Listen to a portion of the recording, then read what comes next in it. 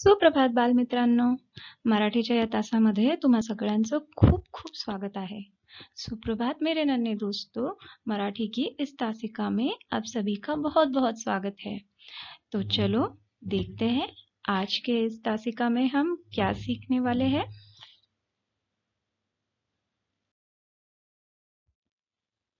मुलांनो, मागील तासामध्ये आपण स्वरांची ओळख करून घेतली होती. तर थोडक्यात आपण आता बघूयात कि अपन काय शिकलो ते. दोस्तों, हमने पिछले तासिका में स्वरों से अपनी पहचान कराई थी. तो आइए देखते हैं संक्षिप्त में कि हमने क्या सीखा था। मुळाक्षरे. मुळाक्षरे मतलब वर्णमाला. मुळाक्षरांना वर्ण असे म्हणतात. मुळाक्षर मतलब वर्णमाला. उनको वर्ण भी कहते हैं. मुळाक्षरांमध्ये स्वर आणि व्यंजने असतात. वर्णमाला में स्वर और व्यंजन होते हैं।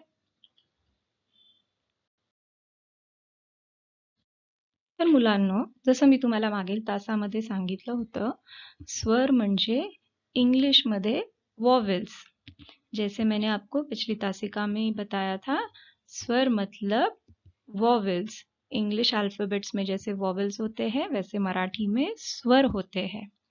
और आज हम सीखने जा रहे हैं व्यंजन।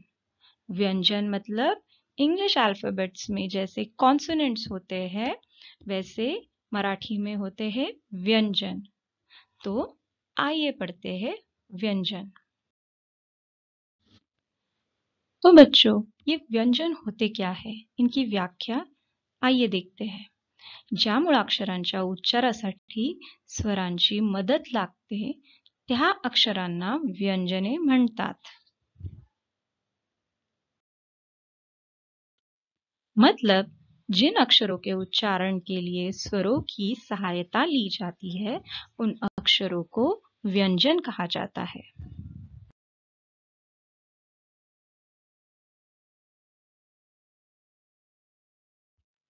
चला तर मग पाहूया व्यंजने.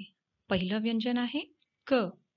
क कमळ, क, कमळ, ख, खरबूज, ग,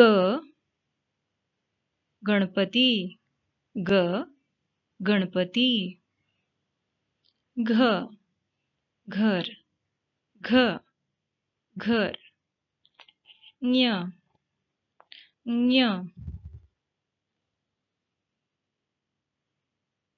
च चमचा च चमचा छ छत्री छ छत्री ज जहाज ज जहाज झ झेंडा झ झेंडा त्र त्र. ट टरबूज ट टरबूज ठ ठसा ठ ठसा ड डमरू ड डमरू ढ ढग ढ ढग ण बाण ण बाण त तराजू त तराजू थ थवा थ थवा द दरवाजा द दरवाजा ध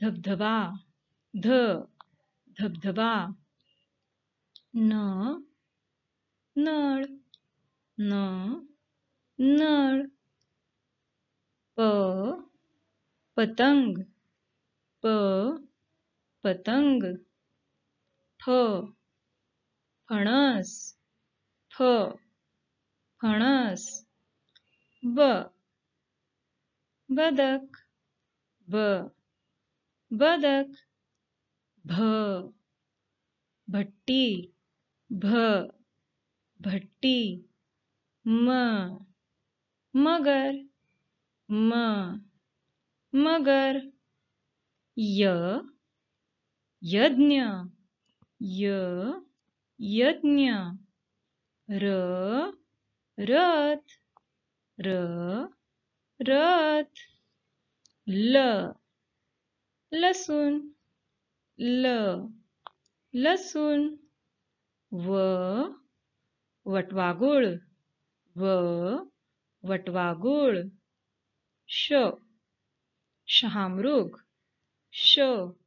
शहामृग ष षटकोण, श. षटकोण. स. ससा स. ससा, ह. हरण ह हरण ळ बाळ ळ बाळ. क्ष. क्षत्रिय. क्ष. क्षत्रिय. ज्ञ. ज्ञानेश्वर. ज्ञ. ज्ञानेश्वर.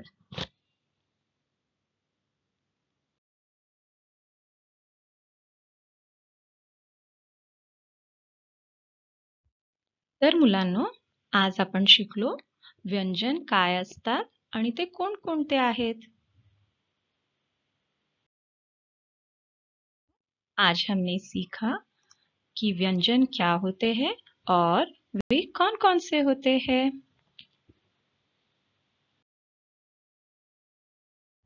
आपण आता इथेच थांबूया आणि भेटूया पुन्हा तासाला. धन्यवाद.